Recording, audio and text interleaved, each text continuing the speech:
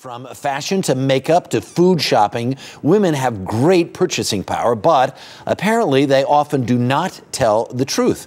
That's why Mary Lou Quinlan wrote the provocatively titled new book, What She's Not Telling You Why Women Hide the Whole Truth and What Marketers Can Do About It. Good morning.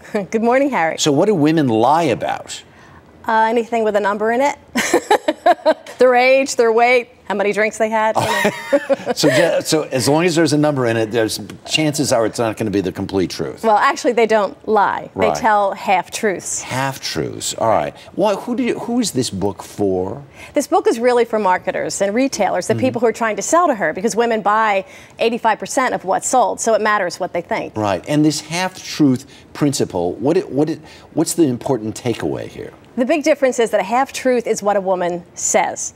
A whole truth is what she actually does or believes or buys. Okay, and so often when we're uh, inquiring and asking questions about uh, all kinds of things, even questions we might ask on this show, what we're really getting instead of the whole truth is a half truth. Well, I'd like to think I'm giving you the whole truth. but it is that, interview. that reflex answer, you know, right. what you're willing to admit. Okay. So you've created an acronym that has five parts to it that help really explain this.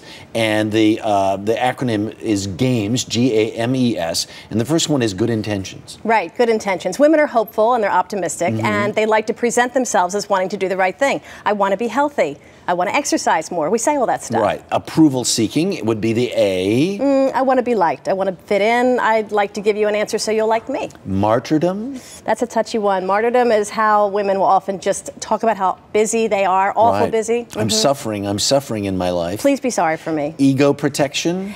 That's the cover story that I want to keep on believing. The more I say it, the more I believe it, and maybe you will too. Wow, this is this is kind of really un- unvarnished and potentially very controversial stuff. Secret keeping. Secret keeping are really what she's hiding from you and doesn't want you to know. So mm-hmm. yeah, this is a little bit of tough love, but it's true. All right, let's talk about a, a product or a company people would be familiar with that didn't take this into account. Okay, let's take Dove.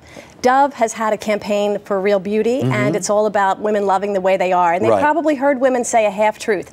It's what's inside that counts. Right. Hate those airbrush models. Sure. The whole truth is, if we buy products, we want to look better. So Dove, unfortunately, has not done that well over these years. Because didn't it go up for a while, and then it then? The, of course, they spent billions, uh, uh, you know, trying to get this idea oh, out there, okay. and women loved it. And it's a great idea, and right. it does make people feel good. But the truth is, if we're paying money for beauty products, we want to look better the next day. if you want to look the same, why bother? So what's a company? company then that took the half truth and said, we can extrapolate this into a way that we can really exploit it? Procter & Gamble with Olay, Regenerist, Definity, Pro-X, all of these products have a lot of benefits and claims and support and science. And so women are going to spend the money if they think the results are going to come. Right. What if if you're a marketer and you're out there sort of if if you can accumulate this, sort of get a handle on this, what's the most important thing marketers should keep in mind when they are trying to market to women? I think they better listen better because women can give these half truths so easily. It's such a shortcut that a marketer wants to hear what he or she wants to hear, and they'll make a big mistake and find their sales can be sabotaged. Wow, there you go. So interesting. I had a chance to look at the book this weekend, which is beautifully laid out, by the way. That's not a half truth. I think that's pretty much the whole truth. And it really is really interesting stuff. Thank oh, you so much. Thank you, Mary Harry. Lou Quinlan. Right. To read an excerpt from Mary Lou's book, go to our website. It's earlyshow.cbsnews.com.